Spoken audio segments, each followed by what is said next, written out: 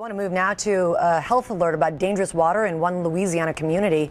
A potentially deadly amoeba has been found in the water supply for thousands of people. And ABC's Steve Osunsami has the story.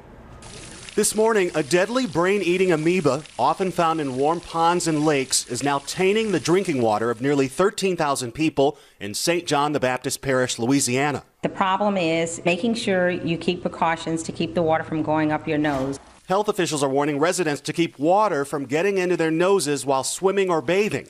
They're telling parents to keep a close eye on children playing with hoses or sprinklers. The amoeba finds itself way back in our noses and then can work its way into our central nervous system around our brains.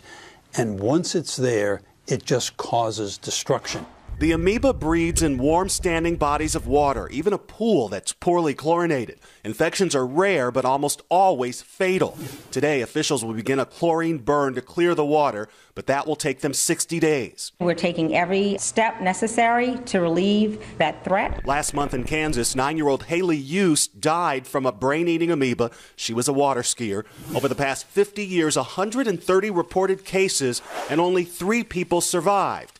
12 year old Kali Hardig was one of them, hospitalized for nine weeks after contracting the disease in an Arkansas water park. I was so sick.